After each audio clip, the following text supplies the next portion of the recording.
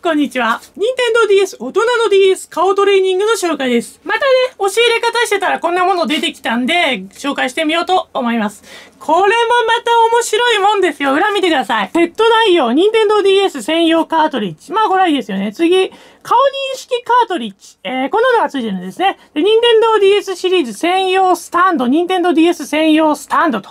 えー、いっぱいついてます。いっぱいついてるんです。で、まあ、私の好きな外部デバイスがついてるんですよ、いわゆる。まず、スタンド。これに DS を立てかけて、自分の顔を取ってやるんで、まあ、固定するわけですね。そして、そして、これがソフトなんですけど、開けるると、開けるとですよ、じゃーん。これカートリッジ。こっち出ました。また出ちゃった。えー、ここ要するに、えー、ラブベリーの時も言いましたが、えー、ゲームボーイアドバンスのカードリッジに挿すんですね、ここ。そうすると、えー、カメラがある。え、どういうことかっていうと、任天堂 3DS はもちろんカメラついてますよね。ついてるんですけど、任天堂 DS と DS ライトにはカメラがないんです。任天堂 DS i になって初めてカメラが搭載されたんですけど、DS と DS ライトにはカメラがなかったたんですね。だから、このゲームの趣旨としては自分の顔をカメラでバチッと撮って、えー、それをね、フェイストレーニングしていこうという趣旨なんですけど、カメラがないんでできないんですよ。そこでこういったものが出ました。えー、裏見てください。フェイスニングスキャンと書いてありますね。いや、すごいよ、ここ。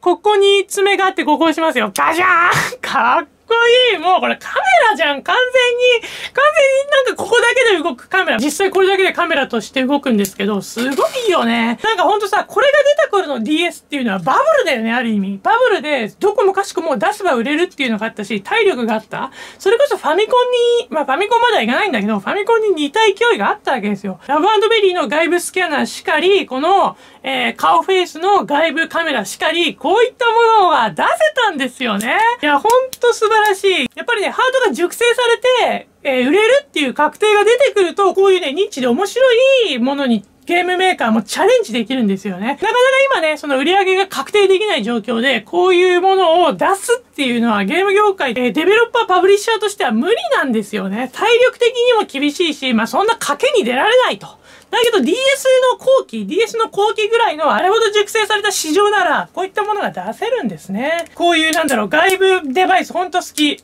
だってこれさ、カメラなんだけど、それた、それのためだけのカメラだからね、超いいじゃん。面白いよ。ほんとこう、これがゲームだよ。これぞゲーム。ゲームってさ、いろんな意味あるけど、私これが好きだな、こういうのが。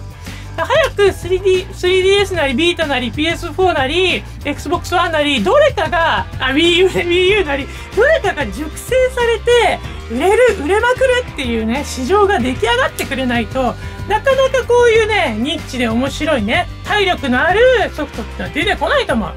早くそうなってほしいですね。いやー、こういう面白いものもありましたという動画でした。バイバーイ